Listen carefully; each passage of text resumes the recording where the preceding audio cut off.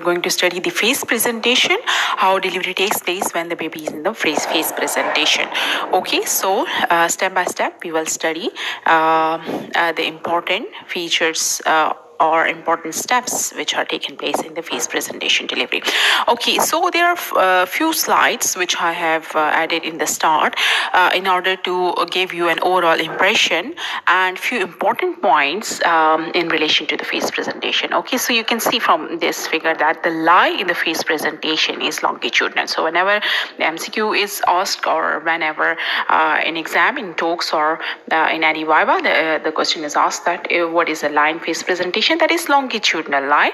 Secondly, the presentation. Presentation is cephalic. Longitudinal line, cephalic presentation. Presenting part. Presenting part is face. You can see from the figure. Okay. And what about the attitude? The attitude you have to uh, understand okay in uh, whenever we discuss the attitude you have to remember that there is flexion of the limbs and along with the flexion of the limbs if we discuss the spine the spine is extended okay? There is extension of the spine and flexion of the limbs. And what is the denominator? The denominator in case of the face presentation is mentum now i have written the definition of denominator as well okay? Denominator is basically a body uh, landmark on the presenting part which is used to denote the position of the baby okay so denominator in case of the face presentation is that of mentum now what about the position? Okay position in case of the um, face uh, delivery may be right or left mento anterior position.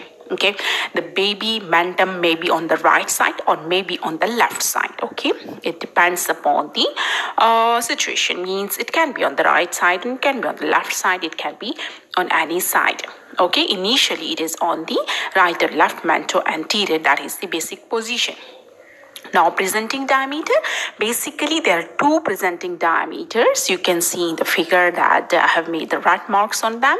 One is that of the bitemporal diameter, which crosses the temporal line. And uh, the another diameter is submentobregmatic. Submentobregmatic is 9.5 centimeter, bitemporal is 8.2 centimeter.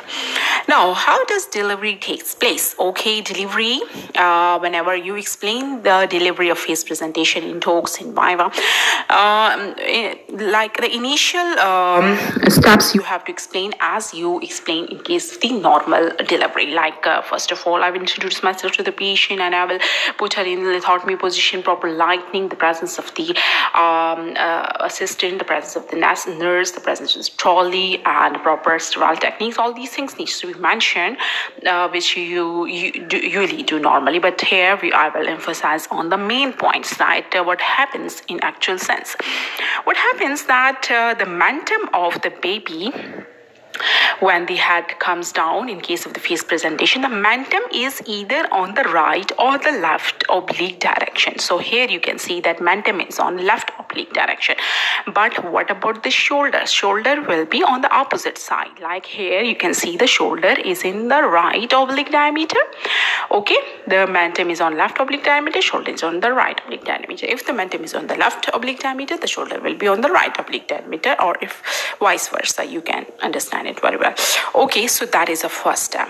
Okay after that what happens that uh, we have the different um, mechanisms uh, of the labor which takes place. Like in normal delivery we have engagement descent flexion internal rotation extension restitution external rotation. But here there are a few uh, differences which um, uh, I will explain in the next slide. So that is just an overview. Okay. So the first step is that of the engagement. Okay. So first step whatever the delivery takes place first of all the head gets engaged head comes down. Um, the second step is that of the descent. You can see uh, with the help of uterine contraction in the first stage and maternal expulsive effort in the second stage the head come down okay? You can see from this figure that head is coming down.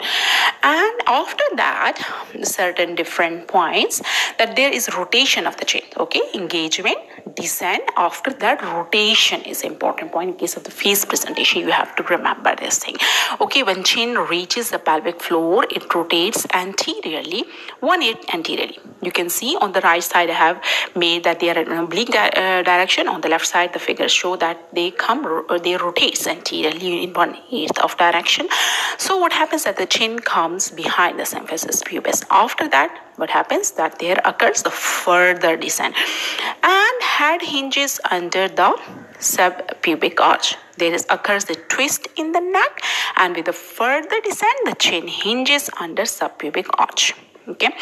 And what happens next? After that there occurs the flexion of the head and delivery takes place. Delivery occurs in this uh, manner. Like first of all, chin gets delivered, then the face, then the brow, then the vertex, then the occiput of the head is delivered. In that, in that way, the delivery of the head takes place. Then what happens? That there, after the delivery of the head, what ha happens? That there is restitution of the head takes place in the same side. Means if the mentum was on the right side, the restitution of the head will take place on the right side. If the, the mentum was on the left side, the restitution will take place on the left side and with that there occurs one eighth rotation of the shoulder anteriorly. Okay? So that that step you know already shoulder delivery first uh, anterior and then the posterior shoulder deliveries takes place. Okay Okay, then the whole body gets delivered. After delivery of the shoulder, there occurs delivery of the whole body. Now, that was the mento anterior means the favorable um, position. What happens in mento posterior position? You have to remember that posterior wall of the pelvis is larger than the anterior wall. So, what is the result of that? There is impaction of the fetal chin.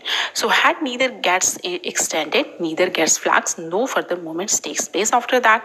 Okay, vaginal delivery becomes possible if chin rotates anteriorly, which is very difficult. Only in case of the uh, adequate pelvis, it takes place. Otherwise, it doesn't take place. If no rotation takes place, the head remains in such position and no delivery takes place and cesarean section is recommended. Okay, so that was all about uh, the delivery of the head in uh, face presentation.